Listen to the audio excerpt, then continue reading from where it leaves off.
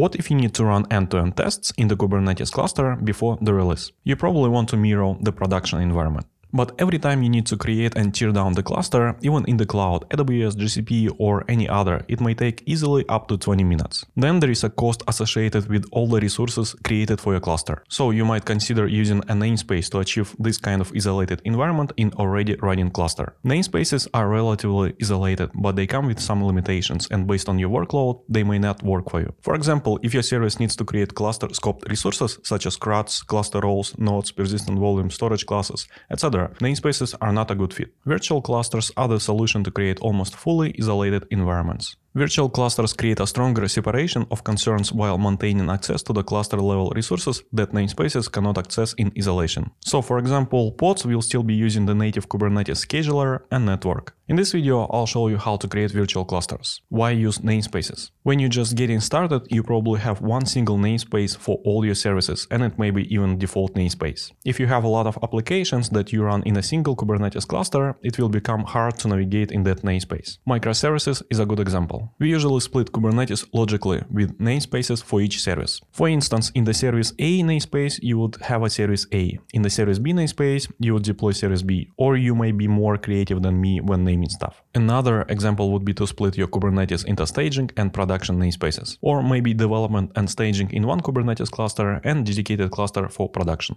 Namespaces enable the division of the cluster's resources between multiple teams or environments, but they also allow you to implement resource quotas. You can define the limit on each namespace for CPU and memory. Sometimes it's helpful if you have limited resources or budget. Also, you can implement network policies to restrict namespace access. For example, you can only allow applications in Service A namespace to access the database namespace. Finally, namespaces enhance role-based access control. For example, RBAC permissions can be set such that a team member can create, update and delete resources in their namespace, but they cannot do similar operations in other namespaces. This minimizes the risk of someone accidentally breaking the other's team service. Limitations of namespaces. Namespaces allow you to create light isolation, but they are not separate Kubernetes clusters, which means you can run into some risks and limitations when you only use namespace-based isolation. First, services in all your namespaces namespaces will use the same Kubernetes control plane. That means they will share API server, etcd, scheduler, and all other shared Kubernetes components. Second, there are a lot of cluster scope resources, such as custom resource definitions, cluster roles, persistent volumes, and some others.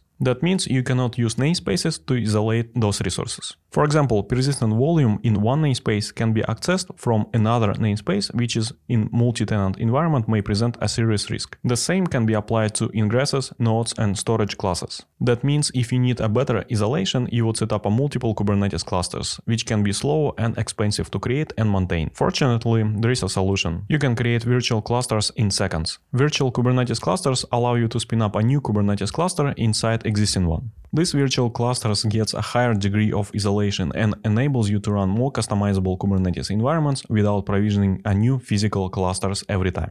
In this video, we will take a look at one of the most popular open source solutions from Loft. It's called vCluster and it's based on lightweight Kubernetes implementations of K3s. Why use virtual clusters? Since you can have multiple virtual clusters within a single namespace, they're much cheaper than the regular Kubernetes clusters and they require much lower management and maintenance efforts. This makes them ideal candidates to run experiments, CI/CD pipelines, and setting up sandbox environments. Virtual clusters also provide more stability than namespaces in many situations. The virtual cluster creates its own Kubernetes resource objects, which are stored in its data store. The default storage backend is SQLite, but etcd, MySQL and Postgres are also supported. The host cluster has no knowledge of these resources. Some of the use cases are CI/CD testing. Virtual clusters have the advantage that they can be started in a few seconds, so it's possible to create them on demand by the engineers without admin access to the host Kubernetes cluster. After the completion of a test or CI/CD process, they can also be thrown away without any issues, which keeps the cost for computing resources as low as possible. Cloud native development. You can grant full access to the virtual cluster to your developers and not be afraid if they break something in that cluster, it will affect all other environments. Keep host Kubernetes cluster clean. Sometimes for development and testing, you need to create a bunch of cluster scoped resources, such as custom resource definitions and cluster scoped RBAC policies. When development is finished, usually those objects will live forever in that cluster and later it is hard to clean up if you are not the one who created them. So if you just spin up a virtual cluster and then throw it away, you're going to keep your host Kubernetes cluster much cleaner. You may think of the Kubernetes virtual cluster as a virtual machine. When it's not needed, just destroy it and spin up a new one on demand. Limitations of virtual clusters. While virtual Kubernetes clusters provide a level of isolation greater than namespaces, they also have their limitations. First, because they run on the same host cluster, they are not appropriate for situations of very low trust. Regular clusters will still give you a greater degree of isolation and security. Virtual clusters also don't support all Kubernetes features at the moment. For example, virtual storage classes, container runtimes, and network plugins are unavailable in vClusters. So you either have to limit access to these features within your application or fall back to the host cluster. To get started, you need to install vCluster CLI. Then to create a virtual cluster is easy as to run vCluster create. You can create a virtual cluster with a proxy or load balancer. If you choose to use proxy, every time you want to access the cluster, you need to run vCluster connect. Let's create a simple Nginx deployment in the demo Nginx namespace. Now let's get pods in that namespace. Exit the cluster and check namespaces in the host cluster. You're not going to find a demo Nginx namespace, only host namespace 1.